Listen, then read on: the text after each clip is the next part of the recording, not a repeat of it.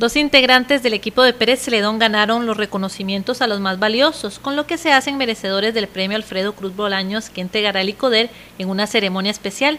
Estos deportistas generaleños se mostraron orgullosos por el desempeño en Juegos Nacionales y nos mostraron sus medallas, además de ser considerados valiosos deportistas este año y próximamente recibirán una beca para sus carreras deportivas.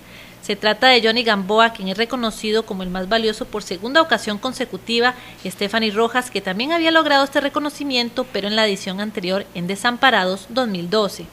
Bueno, este nos fue demasiado bien. Eh, ganamos, bueno, en mi persona gané cuatro medallas, tres de oro y una de plata, entonces nos fue muy bien.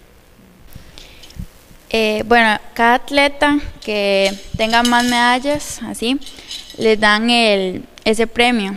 Entonces es una cena y reúnen a todos los atletas destacados y dan el reconocimiento y después ya se entrega la beca. También ganó la mejor atleta, este, el campeones absolutos en, en masculino y en femenino y gracias a eso me imagino que bien.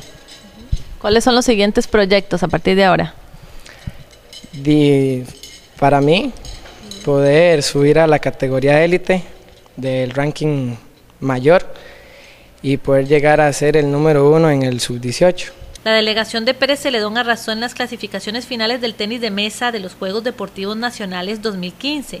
Los generaleños no solo mantuvieron el título en la rama femenina, obtenido en las dos últimas ediciones, sino que le quitaron la corona Santa Ana en la clasificación masculina. Tras una muy cerrada lucha que se resolvió por apenas un punto de diferencia, 138 a 139, con lo que se coronaron campeones por segunda vez en la historia, luego de haberlo logrado hace 28 años en Alajuela en 1987.